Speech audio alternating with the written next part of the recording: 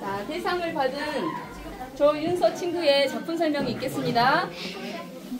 저는 이순신 동상을 보면서 이순신 장군님 동상에 이순신 장군님에 대한 노력과 노력과 그런 깊은 뜻이 담겨 있다고 생각하고 이렇게 반반 그림을 그렸어요. 이쪽은 동상, 이쪽은 이순신 장군님의 실제 모습이에요. 네. 자, 그다음에 자, 그 다음에 최우수상의 고현우 친구의 작품 설명이 있겠습니다. 어, 저는 진도에서 가장 큰 축제가 신비의 바닷길 축제라고 생각해서 이 그림을 그렸어요. 혹시 이 여기에 사람 몇 명이 나왔나요?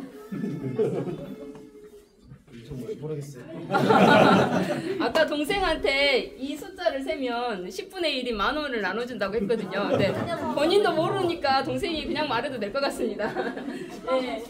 그 다음에 김정원 학생의 작품 설명을 들어보겠습니다. 저는 진도하면 아리랑이니까 아리랑을 그릴 생각을 했습니다.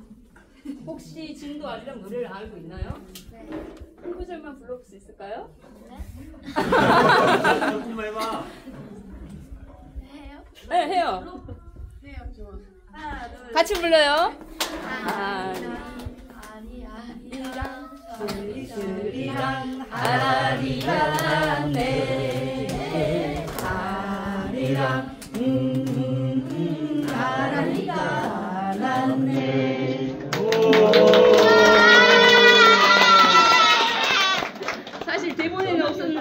잘해줘서 감사합니다. 그 다음에 네 세이가 세이 어린이 작- 작가님의 작품 설명을 들어보겠습니다.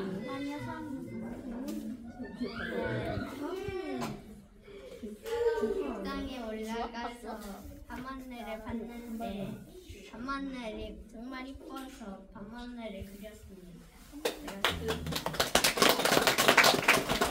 네, 마지막으로 박지우 어린이의 작품 설명을 듣도록 하겠습니다.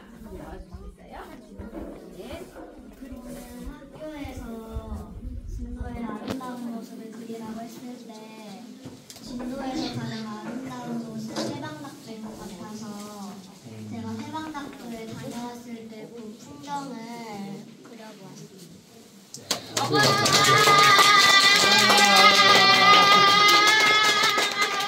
이 사람들은 누구인가요?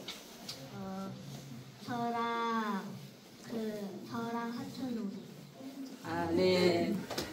네, 이렇게 이번 그 진도의 아름다운 그 저- 작품을 통해서 진도에 대해서 다시 한번 생각해보는 계기가 되었지 않나 생각하고요. 아, 우리 친구들도 더욱더 진도를 사랑하는 마음을 가지길 바랍니다. 감사합니다.